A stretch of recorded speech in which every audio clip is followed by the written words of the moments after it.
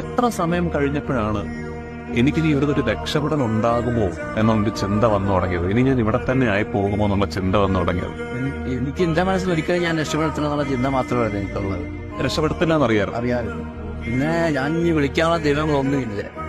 എല്ലാ ദൈവങ്ങളെയും വിളിച്ച് ആ അവിടുത്തെ ആ ജീവിതത്തിനെക്കാട്ടി നല്ലൊരു മരണമായിരുന്നു അത് ഒരുപാട് വട്ടം കാലായി കിടന്നിട്ടുണ്ട് എന്ന് ഇതെന്തിനും കടിച്ച് മരിക്കട്ടെ. അങ്ങനെ എന്നിങ്ങനെ ഇണയിച്ചത് പിന്നെ എണീക്കുമ്പോൾ നമ്മുടെ വീട്ടിലെ കാര്യം ചിന്ത വരുന്നത്. എന്റെ ഭാര്യ പ്രസവിച്ചത് അമ്മയെ വരുമ്പോ എട്ട് മാസം ഗർഭിണിയായിരുന്നു.